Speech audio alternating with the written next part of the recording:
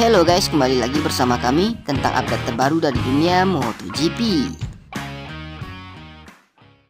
Berikut ini adalah hasil kualifikasi dan starting grid MotoGP Valencia di kelas Moto3 yang digelar hari ini Sabtu 5 November 2022 beserta klasemen terbaru Moto3 dan jadwal race MotoGP Valencia 2022. Izan Guevara keluar sebagai pole position kualifikasi MotoGP Valencia di kelas Moto3. Di posisi kedua ada Denis Oncu, di posisi ketiga ada Sergio Garcia.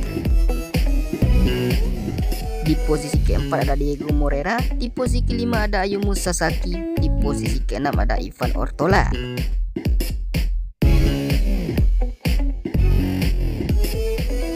Di posisi ketujuh ada Dennis Foggia, di posisi kedelapan ada Tatsuki Suzuki, di posisi ke-9 ada Ryusei Yamanaka.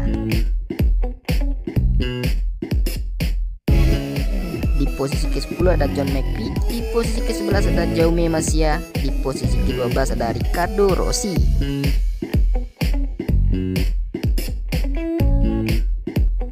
Posisi ke-13 ada David Salvador, di posisi ke-14 ada David Munoz, di posisi ke-15 ada Daniel Holgado.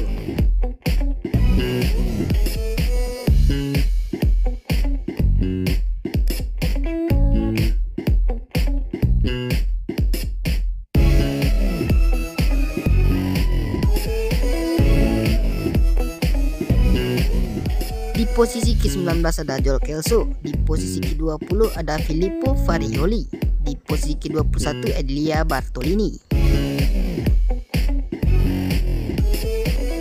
Di posisi ke-22 ada Lorenzo Felon, di posisi ke-23 ada David Almansa, di posisi ke-24 ada Andrea Migno.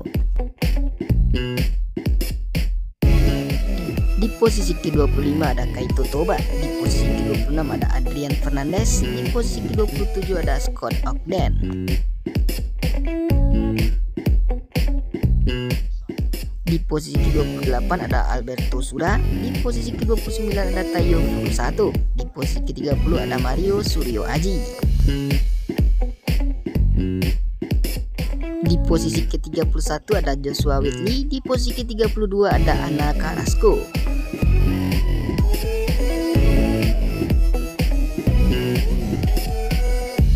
Jadwal race MotoGP Valencia yang digelar pada hari Minggu 6 November 2022 Race Moto3 jam 17 Race Moto2 jam 18.20 Race MotoGP jam 20 live di Trans 7 Daftar klasemen Moto3 hingga hari ini. Di peringkat teratas ada Izan Guevara Di peringkat kedua ada Sergio Garcia Di peringkat ketiga ada Dennis Foggia Di peringkat keempat ada Ayumu Sasaki Di peringkat kelima ada Dennis Oncu Sekian dulu update berita dari kami. Nantikan update selanjutnya. Terima kasih telah menyaksikan video ini. Jangan lupa like, share, komen, dan subscribe.